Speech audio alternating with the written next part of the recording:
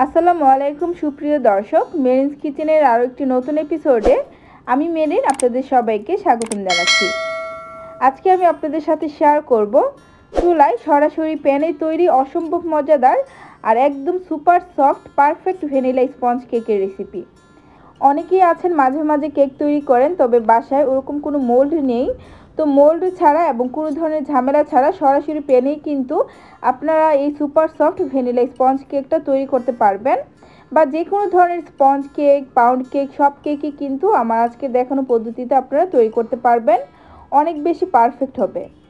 তো আশা করব আমার আজকের এই চুলাই সরাসরি প্যানে তৈরি পারফেক্ট ভ্যানিলা স্পঞ্জ কেকের রেসিপিটা আপনাদের কাছে অনেক বেশি ভালো লাগবে এবং আপনাদের উপকার আসবে। তো রেসিপিটা যদি ভালো লাগে, তাহলে সবার কাছে একটা রিকোয়েস্ট থাকবে। যারা আমার চ্যানেলে নতুন চ্যানেলটি এখনও সাবস্ক্রাইব করেননি, তারা প্লিজ চ্যানেলটিকে সাবস্ক্রাইব করবেন লাইক কমেন্ট এবং শেয়ার করে দিবেন ভিডিওটিকে আর যারা আমার ফেসবুক পেজ থেকে ভিডিওটি দেখছেন, তারা অবশ্যই একটা লাইক এবং ফলো দিয়ে পেজের সাথেই থাকবেন। তো চলুন আজকে রেসিপিটা ঝটপট শুরু করা যাক। আজকের এই ভ্যানিলা স্পঞ্জ কেকটা আমি চারটা ডিম দিয়ে তৈরি করব। তো চার ডিমের সাথে অনুপাতটা বুঝে আমি প্রথমে শুকনো উপকরণগুলো চেলে নিচ্ছি। তো এখানে একটা চালনির মধ্যে দিয়ে দিলাম এক কাপ পরিমাণ ময়দা, এক চা চামচ পরিমাণ সমান সমান করে দিয়ে দিলাম বেকিং পাউডার, আধা চা চামচ পরিমাণ সমান সমান করে দিয়ে দিলাম বেকিং সোডা, আর এখন দিয়ে দিচ্ছি এক চা চামচ পরিমাণ ভ্যানিলা পাউডার। আপনারা চাইলে ভ্যানিলা অ্যাসেন্স দিতে পারেন। তো অ্যাসেন্সটা পরবর্তীতে ডিমের ম্যারাঙের সাথে অ্যাড করবেন।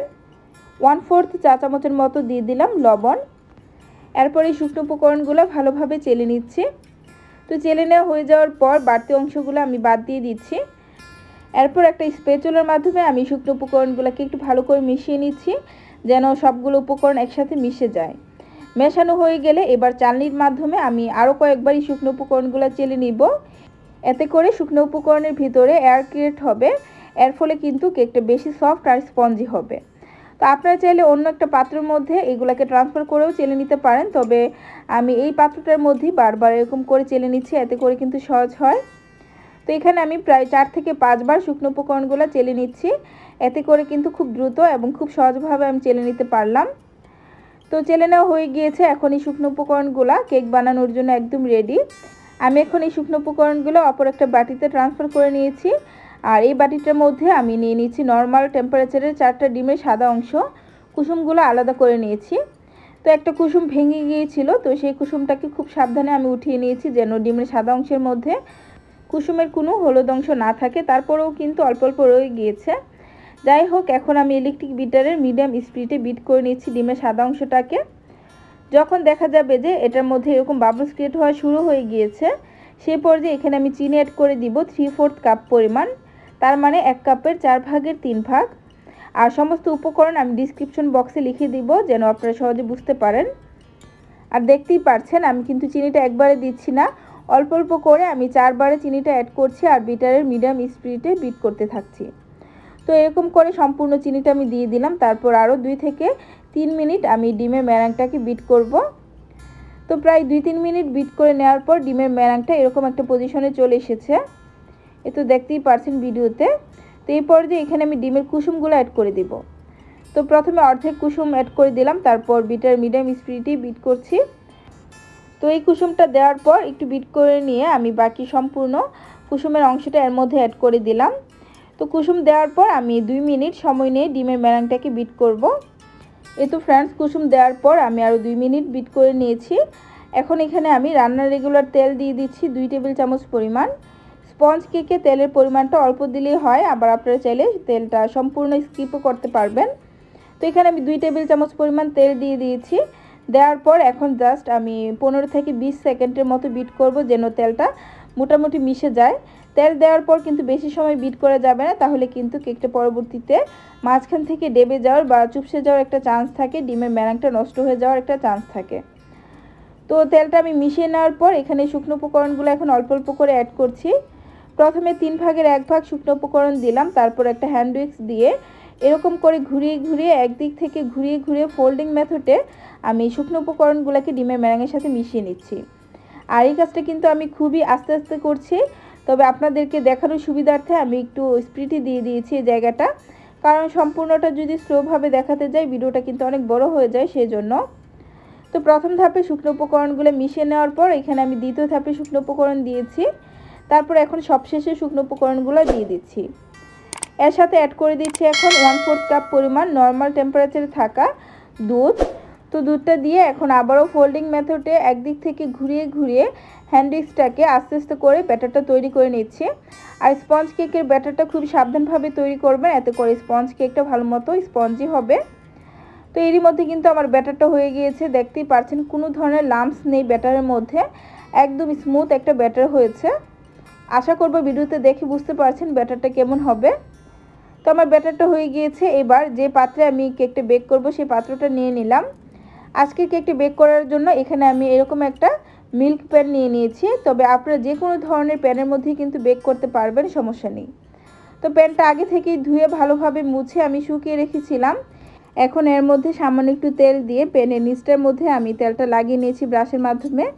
আর স্পঞ্জ কেক বেক করার সময় কখনও প্যানের সাইডে বা মোল্ডের সাইডে অয়েল ব্রাশ করা যাবে না, শুধুমাত্র নিচে অয়েল ব্রাশ করতে হবে। তো অয়েল ব্রাশ করার পর এখানে আমি একটা বেকিং পেপার প্যানের নিচের যে সাইজ অনুযায়ী কেটে রেখেছিলাম, সেটা বসিয়ে দিয়ে ব্রাশের মাধ্যমে এরকম করে খুব সুন্দরভাবে সেট করে নিলাম বেকিং পেপারটাকে। আর আপনারা চাইলে বেকিং পেপার যদি না থাকে, নর্মাল লিখালিখির কাগজও কিন্তু পেনের সাইজ করে কেটে তারপর বসিয়ে নিতে পারেন। তো এবার সম্পূর্ণ কেকের ব্যাটারটা আমি এখানে দিয়ে দিলাম। আর কেকের ব্যাটারটা যেন পেনের অর্ধেকের চেয়ে বেশি না হয়, সেদিকে খেয়াল রাখবেন। কারণ এটা কিন্তু ফুলে ডাবল হয়ে যাবে। তখন যদি আপনাদের প্যানের তুলনা ব্যাটার বেশি হয়, তাহলে কিন্তু এটা ঢাকনার সাথে লেগে যাবে। সেই জন্য অর্ধেকের কম ব্যাটার দিবেন। তো এখানে আমার কেকের সম্পূর্ণ ব্যাটারটা দিয়ে দেওয়ার পর একটা টুথপিক ঢুকিয়ে আমি ব্যাটারটাকে এরকম করে নিয়েছি। বেশ কয়েকবার ঘুরিয়ে ঘুরিয়ে নিয়েছি এবং কয়েকবার টেপ করে নিচ্ছি। এতে করে ব্যাটারের ভিতরে কোনো বাবলস থাকলে সেটা বের হয়ে আসবে। এবং কেকটা সমানভাবে বেক হবে। তো আমার কেকটা এখন বেক করার জন্য রেডি আর যেহেতু আমি চুলায় সরাসরি পেনে বেক করব, তাই প্রথমেই চুলায় একটা তাওয়া বসিয়ে নিতে হবে। তো আমি লো আছে পাঁচ মিনিট আগে থেকে চুলায় পুরানো একটা তাওয়া বসিয়ে নিয়েছিলাম। আপনারা যে কোনো ধরনের তাওয়াই এখানে বসাতে পারবেন। তাওয়ার উপরে এখন আমি এই কেকের পাত্রটা বসিয়ে দিলাম এবং এটাকে ঢাকনা দিয়ে ঢেকে দিলাম। আর ঢাকনার মধ্যে যদি কোনো ছিদ্র থাকে, সেটা অবশ্যই ভালোভাবে কাগজের মাধ্যমে বন্ধ করতে হবে। যেন ভেতরে ভাবটা না বের হয়ে আসে। তো এবার আমি চুলার আঁচটা একদম লো ফ্লেমে রেখে পঞ্চাশ মিনিট কেকটাকে বেক করব। আপনাদের চুলার আঁচের পার্থক্যের উপর ভিত্তি করে সময় কিছুটা কম বেশি লাগতে পারে, সেটা দেখে শুনে অ্যাডজাস্ট করবেন। তো ফ্রেন্ডস পঞ্চাশ মিনিট পর আমার কেকটা হয়ে গিয়েছে। উপর থেকে দেখলেই কিন্তু বোঝা যায় যে কেকটা হয়ে গিয়েছে। আর দেখতেই পারছেন, এটা কিন্তু ফুলে ডাবলের চেয়ে আরও বেশি হয়ে গিয়েছে ব্যাটারটা তো এখন একটা টুথপিক এই কেকের ভিতরে ঢুকে চেক করে নিলাম। টুথপিকটা ক্লিন এসেছে, তার মানে কেকটা ভেতর থেকে ভালোভাবে বেক হয়েছে।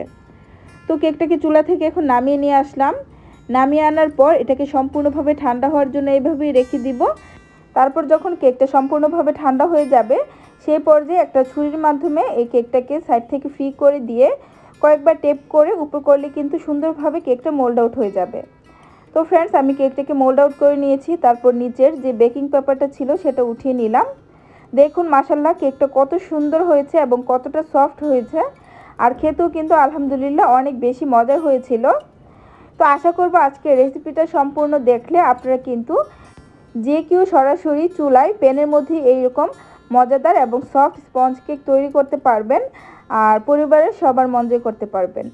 আর এই কেকটাকে কিন্তু আপনারা অনায়াসেই ডেকোরেশন করতে পারবেন। দেখবেন অনেক বেশি সফট হবে কেকটা এবং খেতেও খুবই মজার হবে।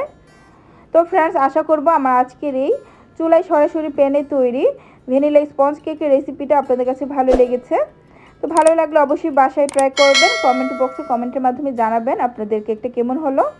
আজকের মতো এখানে বিদায় নিচ্ছি, সবাই অনেক ভালো থাকবেন, আল্লাহ হাফিজ।